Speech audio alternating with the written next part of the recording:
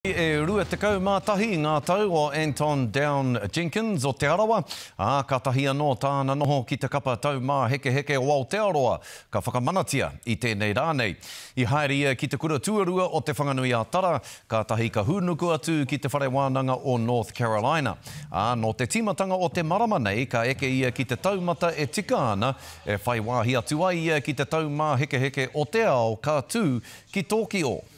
I obviously I knew there hadn't been a male diver at the Olympics from New Zealand in my lifetime